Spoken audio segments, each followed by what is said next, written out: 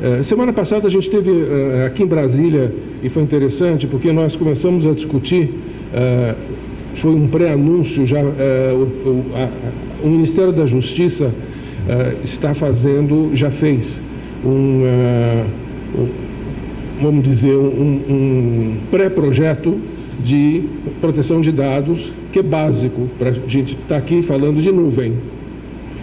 E enviou já para a Casa Civil. E a Casa Civil, em algumas semanas, deve enviar ao Congresso. E começa o grande debate da proteção de dados no Brasil. Quando a gente fala em cloud, para a gente falar assim, é, voltando ao início da minha fala, dizendo vamos fazer, qual é o grande objetivo que a Brascom sonharia? Que o Brasil fosse o hub de cloud computing da nuvem para toda a América Latina. Até porque uh, data centers muito mais longínquos eh, muitas vezes não atendem as aplicações em tempo de latência que a gente precisa. Algum país na América Latina vai ser escolhido. E nós temos tido notícias tristes, que, por exemplo, a própria Google, algumas semanas atrás, decidiu que o data center dela é no Chile e nós precisamos correr, porque os outros países eles já estão com projetos mais avançados, projetos que englobam o hardware, uh, o posto, o, uh, a, a, parte política, os acordos internacionais, uh, a, a, segurança que o país dá legal a dados que de outros países e assim por diante. Vamos pegar um primeiro exemplo que é o, uh, entra muito, uh, aqui entra muito no caso governo.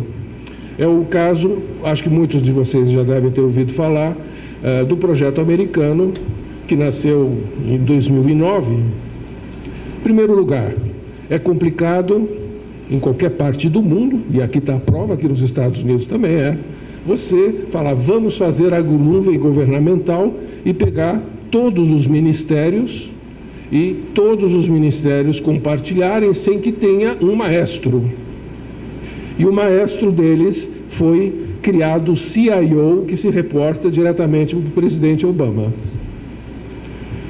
O CIO do governo americano desenvolveu um plano de 25 ações para que órgãos federais possam educar o mercado e identificar infraestruturas e aplicações que poderiam ser migradas para a nuvem.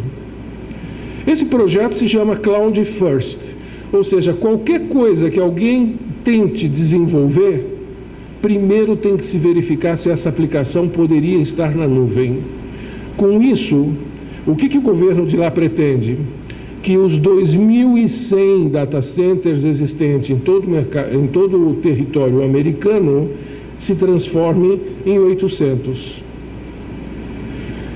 E a expectativa uh, é que isso traga uma economia monumental para o governo americano. A, a não duplicidade de recursos começa a deixar de existir. Uh, outra coisa que é nova e começou a acontecer nos Estados Unidos, já está acontecendo na Colômbia, é que muitas vezes o governo, a gente já está ouvindo no Brasil isso em outras áreas, uh, ele entrega partes da infraestrutura, ou a infraestrutura inteira, se for o caso, à iniciativa privada. No caso dos Estados Unidos, ah, eles estão trabalhando o ambiente de nuvem privada da Terremark e reduziu em 50% os gastos operacionais. Isso aqui já é fato, já aconteceu. Eu, eu, tenho, eu tenho 30 países para falar. Eu escolhi alguns mais é, interessantes e que têm mais aderência ao nosso. O outro, eu não tinha mudado. Está aqui exatamente o que eu acabei de ler para vocês. Né? O outro país que tem feito um plano é, de mais longo prazo, que já saiu muito na imprensa, é a Austrália. A Austrália uma coisa que a gente. Ela, hoje ela tem 30 mil metros quadrados e consome um total de 850 milhões por ano é, destinados a data centers. O, governo reviu o uso do, do, do, do uso de TI e traçou um plano de 15 anos, que para nós, muitas vezes, nós estamos tentando mudar. É, quando a gente fala na nossa tecnologia, eu falo em grandes mudanças de modelo, de ruptura com o que existe, é, muitas vezes é difícil a gente falar em dois anos, é difícil falar em três anos. A gente pega uma série de países no mundo, evidente que no meio do caminho do, é, vão mudando tecnologias, vão, e agora mais do que nunca, toda hora tem alguma novidade. Esses planos são direções e no meio do caminho alguns remendos ou alguns, algumas mudanças de conceitos acontecem. Eles fizeram um plano de 15 anos. Uh, eu falei na semana passada, mostrei em muito em highlights, que nós estamos querendo trabalhar junto com o governo, no caso com a McKinsey, para fazer um plano do Brasil de 10 anos. Esse plano do Brasil de 10 anos não é um plano de TI, é o plano de uso de TI, fazendo com que o Brasil seja mais competitivo em todas as suas áreas, quer seja em governo, quer seja no atendimento ao cidadão, quer seja na educação, quer seja na indústria, quer seja na pequena e média empresa, que é uma grande oportunidade, e assim por diante. É, é, nós não estamos acostumados, principalmente associações brasileiras, a pensar fora do seu pedaço. E nós, em TI, vocês sabem melhor do que ninguém, que nós somos um motor que permeia toda a sociedade, permeia toda a atividade e chega na casa da mão hoje de todo cidadão. Então nós precisamos trabalhar de uma maneira de, de, da ponta para nós e não de nós para a ponta. E é isso que nós temos proposto. No caso da Austrália, eles estão fazendo esse projeto, é um projeto de 15 anos, também é, sempre fazendo que tudo tenda para a nuvem, e eles imaginam que eles têm uma, um, um plano de eh, economizar dentro dessa estrutura de processamento um bilhão de dólares. E agora, só para. Não são planos assim tão mas vocês vão ficar surpresos. Tem um vizinho nosso que já se considera que já está criando a infraestrutura e as leis para se tornar a. Eu, eu gosto de ler essa, essa frase. Buenos Aires como a capital tecnológica da América Latina. Os incentivos incluem concessão de crédito a empresas, financiamentos, capacitação técnica e linguística. Já existe. Né? E eles brigam pelos data centers também.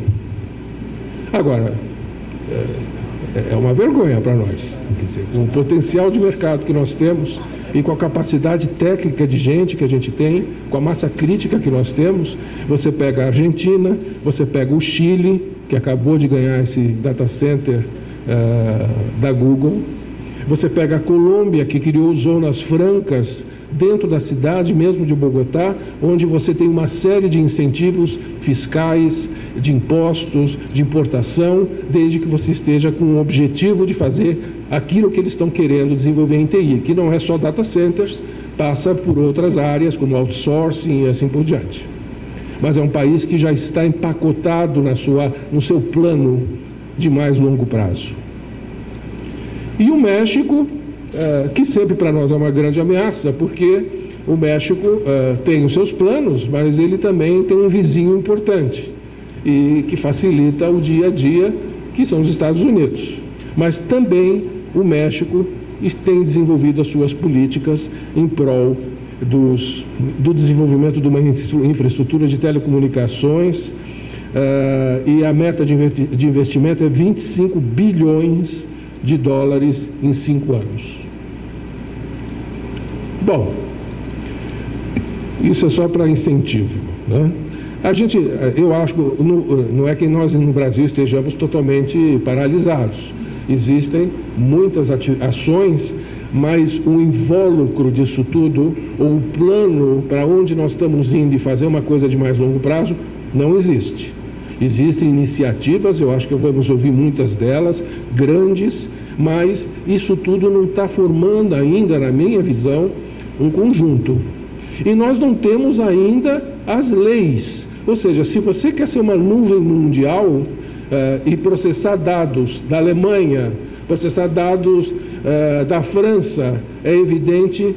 Tanto é que foi o primeiro, na semana passada foi o primeiro Foi o primeiro evento de TI, eu acho que veio uma embaixadora da União Europeia para fazer a abertura, é, porque é um assunto de Itamaraty, na hora que a gente quer, queira fazer acordos internacionais para que os dados é, ou os processamentos desses países todos se sintam seguros dentro do território brasileiro e protegidos.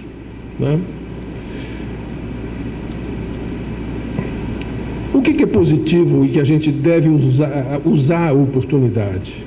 Em primeiro lugar, o mercado brasileiro de serviços de data centers, porque os data centers estão acontecendo, é que ainda não existe uma maturidade de exatamente de ver aonde fazer, faz-se. Uh, os bancos brasileiros, principalmente, não querem nem saber, eles querem ter o data center ali do lado deles. Quer dizer, existem muitas iniciativas que não concorrem em custo, elas são muito mais estratégicas. E com isso a gente consegue hoje uh, representar 58% do processamento na nuvem da América Latina e uh, com uma, ten uma tendência de crescimento muito boa, mas aí eu vou dizer a vocês logo em seguida quais são as nossas ameaças. Se a gente. Né, é, o Congresso está discutindo neutralidade de rede, é, o marco civil é, da internet, agora vai entrar a proteção de dados. precisamos depois muitos diálogos com os Estados Unidos, com a União Europeia, para pensar grande e fazer com que essa nuvem seja uma nuvem global e principalmente seja uma nuvem da América Latina.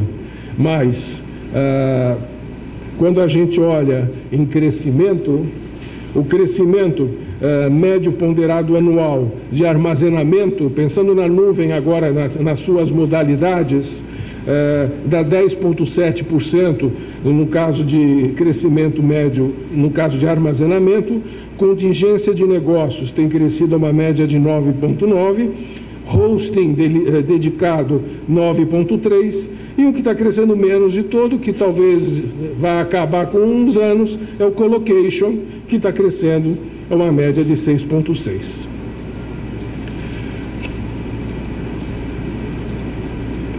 Existem, existe também dentro desse estudo uma amostra de quanto vai se investir, sempre pensando em condições favoráveis de investimento, senão não vai acontecer. Uh, no Brasil, só em CAPEX, uh, para a montagem de data centers de 2013 a 2017, serão investidos 47 bilhões de reais, entre espaço físico, hardware e software, que é a maior parte, energia e refrigeração e uh, infraestrutura de telecomunicação.